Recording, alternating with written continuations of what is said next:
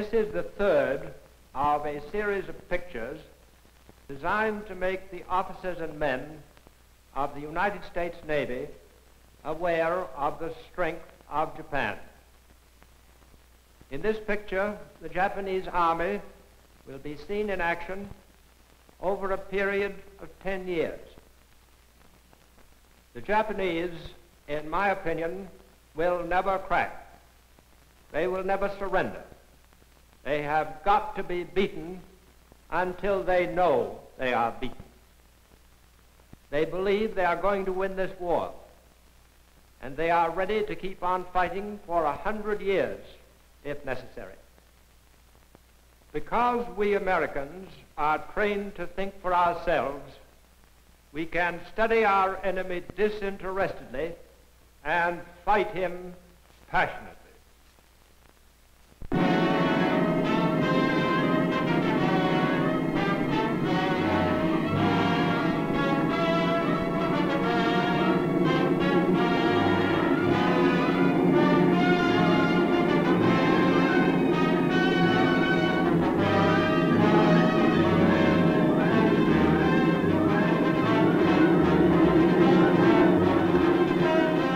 In the past 11 years, the war machine of Imperial Japan has swept victoriously over vast areas of the Earth's surface, there are still Americans who underestimate the formidable strength of this enemy. To defeat him, we must first understand him. A fanatical fighter, resourceful, treacherous, and murderous, who despises all other peoples, and through decades has known but one purpose, that of imposing his ruthless will upon the world by force of arms. Since 1931, the Japanese Empire has been run by its militarists. Japan's few liberal statesmen were persuaded long ago to back the aggressive war plans of the armed forces. In 1941, the Japanese War Party came to power, headed by General Hideki Tojo, today the undisputed master of Japan. In 1931, the militarists took the first steps necessary to bring about world conquest in Manchuria, they threw mechanized troops against an inadequately armed neighbor. Within a year, they had overrun the rich Chinese provinces of Manchuria and consolidated their gains. They then proceeded to give the world a foretaste of what it means to be conquered by Japanese. Maintain an atmosphere of legality, they placed on the age-old dragon throne of the Manchu dynasty the puppet emperor Puyi. But even he knew how empty an honor was his. To carry on the business of government, native officials were appointed whose sole duties were to rubber stamp the decrees of the Japanese army. Thus all mines, railroads, and other resources came under the control of those Japanese-financed corporations which were acceptable to the empire's militarists. Army engineers planning to make of Manchuria a base for further conquests pressed thousands of Chinese into labor gangs to work on hydroelectric projects, military roads, and mines. Though Japan was not successful in persuading its own farmers to migrate to Manchuria, it found ways of inducing the Chinese farmers in Manchuria to raise what the Japanese needed. Crops were collected for shipment to Japan and paid for with worthless occupation money from the army's printing presses. The Japanese made opium easy for the Manchurians to get at the same time, it passed laws designed on the surface to forbid its use, thus profiting both from selling opium and from fining those who used it. By 1937, Japan was ready for the next step in its plan of world conquest to bring the rest of China under Japanese rule. Japanese fighter planes were designed by engineers had taken the most effective engine, propeller, and fuselage designs in existence and blended them into the Zero Pursuit plane.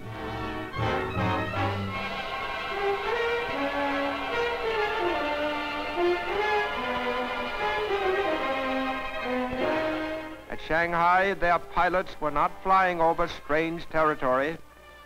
Many of them had been flying over the area for months in commercial airliners.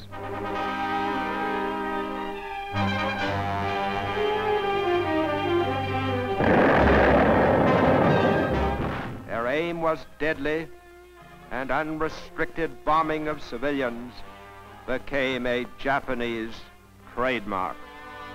Casualties were enormous. Among them a sailor aboard the United States cruiser Augusta, on which a Japanese bomb killed the first of countless thousands of American fighting men destined to become victims of Japan's drive for conquest. Masses of pitiable, frightened Chinese, their homes destroyed, their lives shattered, gathered together what few possessions were left them and fled the city.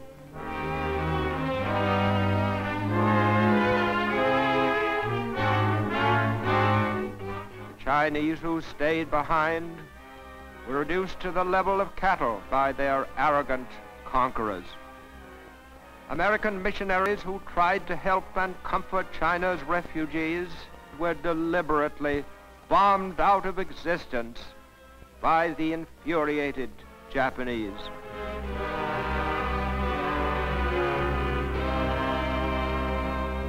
With Shanghai eliminated as a center of resistance, the forces of Japan were ready to move up the Yangtze River to conquer the interior of China, where the tacticians of other nations had regarded rivers as military obstacles, the Japanese used them as avenues of conquest, along which their armies were transported by boat under cover of air protection. When reconnaissance planes showed signs of an enemy ambush ahead, their forces would disembark downstream to move up along the shore.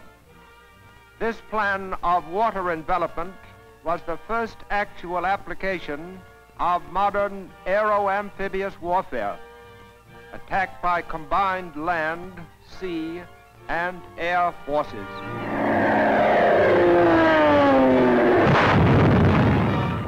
Holding its best troops for the bigger war yet to come, Japan used the China War as a means of hardening and seasoning its second-line forces by priceless experience.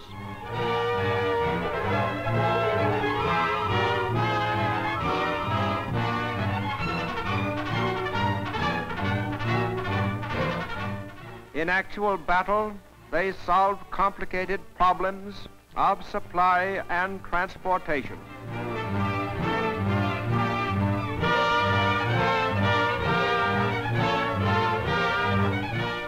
They learned to overcome difficulties by improvised methods and to steel their bodies to meet hardships beyond the endurance of untrained men.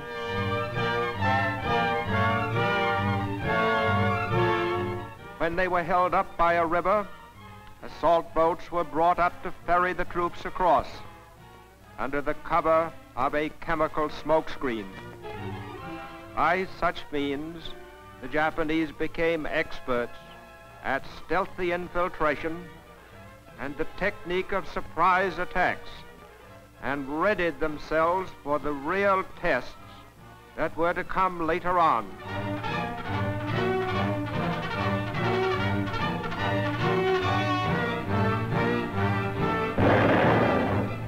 But the Japanese, who had expected to overrun all of China within a few months, with little opposition from the disunited and unprepared Chinese, found themselves involved in a long and bitter war.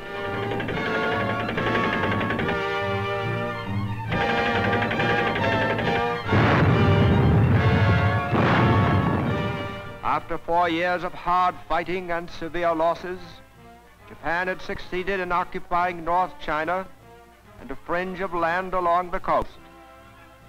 But in this territory, the soldiers of the rising sun had won most of the objectives for which Japan had launched its invasion.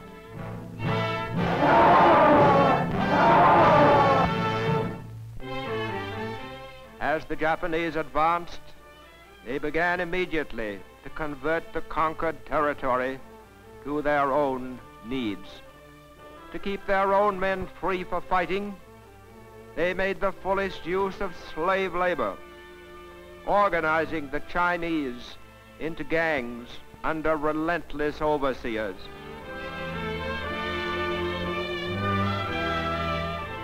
The conquered Chinese were not docile. They had to be guarded constantly but rebellious coolies who were reluctant to work or deliberately slowed down were given the alternative of working or starving. The Japanese believe in making an invasion pay for itself. Thus, day by day, the Japanese were building up their strategic stockpiles at home in preparation for the day when they would be ready to strike out for the immense riches of the South Pacific. Years ago, Japan's militarists had realized that the Philippines were the strategic key to this whole area. Also, they contained resources Japan needed in order to extend its conquests. In the islands were millions of board feet of hardwood, enough first-rate lumber for all Japan's needs. In the making of hemp, a useful war material, Japanese colonists in Davao had managed to gain a strong monopoly. But what Japan most desired was chromite, produced in the Philippines at the rate of 130,000 tons a year. In British Malaya, Japan saw within its grasp a land rich in resources and poorly defended. Malaya rubber plantations produce more rubber than the Japanese could use. And in addition, they had great strategic value. For the United States and Britain had long relied on Malayan rubber to keep their economies functioning.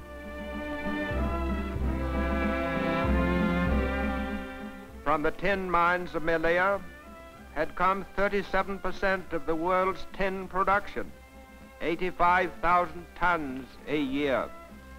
To get exclusive command of this immense supply was a primary purpose of the Japanese. For generations they had seen in Singapore a symbol of the hated white supremacy in the Far East. Goods from all parts of Asia went through Singapore. The British had spent millions of pounds on dry docks and fortifications to protect the trade and create a naval base that was impregnable by sea. But the Japanese planned to attack by land. To conquer the Netherlands East Indies, they were prepared to pay a heavy price, for its resources included much that Japan needed. In Java and Sumatra were some of the world's most productive oil fields.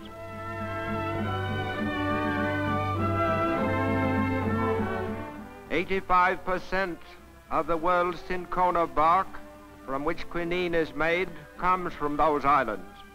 Since quinine is the preventive for malaria, which is capable of destroying whole armies, its military importance to Japan was obvious.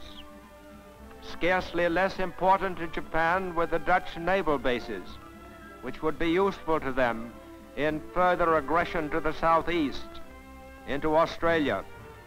To the Japanese, Australia has always meant room to live in, and it has long been eyed with malicious envy by Japanese jingoists. In Australia, just beyond their reach, were many of the strategic minerals of warfare, wealth which could make Japan one of the world's most powerful nations. Coal and iron were piled up in mountains, easy to reach and easy to mine. Ready at hand was the milling equipment needed to process the ore.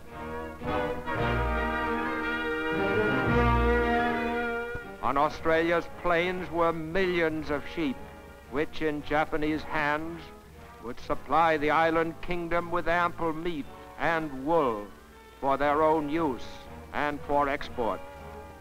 Once they had Australia, they thought, and its seven million people to work for them as slaves, their position would be impregnable.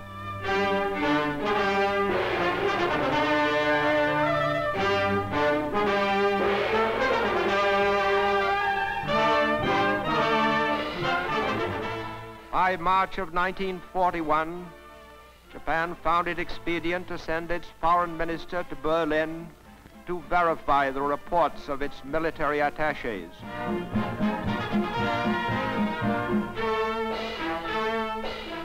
Germany had conquered half of Europe. Japan controlled a large part of China.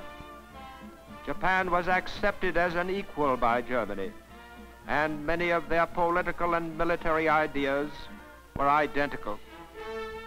Germany had already studied Japan's method of handling subject peoples. Similar methods were applied in Poland and other countries. Between Japan's leaders and Adolf Hitler, there was a perfect meeting of minds and a complete understanding. Out of this meeting between two unscrupulous warrior nations, bent on destruction of the existing world, came an agreement that Germany would not interfere with Japan's designs on Indochina and Thailand. In these countries were bases closer to Singapore than any yet in Japan's hands, bases from which the Japanese planned to launch their conquest of the South Pacific. The French turned over their ports and bases in Indochina to the Japanese without a struggle. The whole operation was an uneventful dress rehearsal of what Japan planned to do in 1942 in the Malayan archipelago, in the Philippines, and in the Netherlands East Indies. Shock troops were lighted ashore with their equipment in the type of amphibious operation Japan had been practicing for years in China.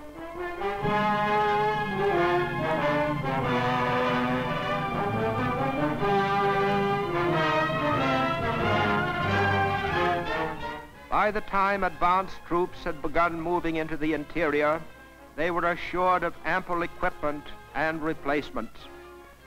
Here and there, scattered resistance was easily dealt with, but there was no organized opposition. Within a few days, at the cost of hardly a man, the Japanese were in possession of all of Indochina up to the border of Thailand which they well knew would offer no difficulties to their armies. Then Japan was ready for its next move, a move destined to be remembered in history.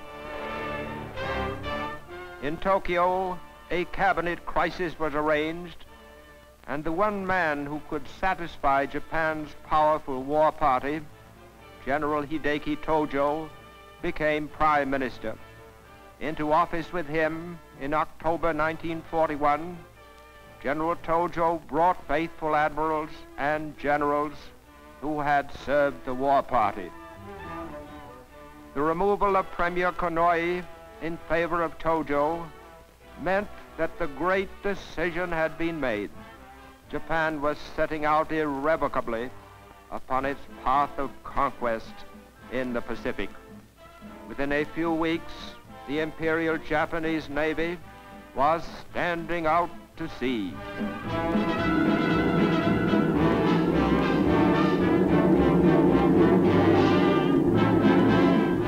To the United States and to the British Commonwealth of Nations, the warriors of Japan had thrown down the challenge.